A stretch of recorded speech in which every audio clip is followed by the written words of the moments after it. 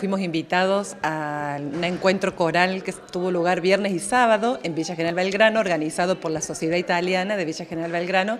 Y la verdad que fue una experiencia hermosa porque nos encontramos con coros de distintos lugares de la provincia, coros de Santa Fe, que fueron a participar. Éramos en total casi 500 coreutas entre los dos días.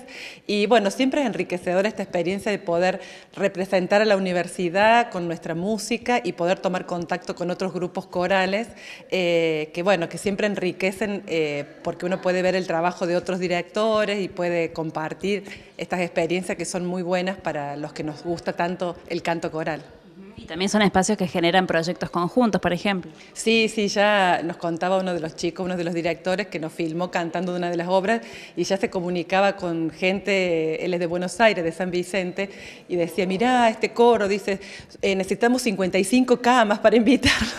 claro, porque el tema para invitarnos a nosotros es que somos muchos.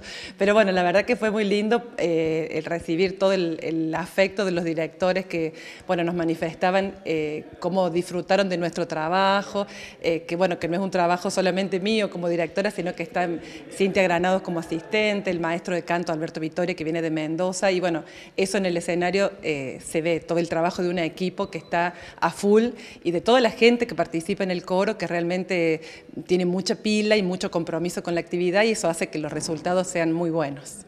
Y continúan los Café Concert.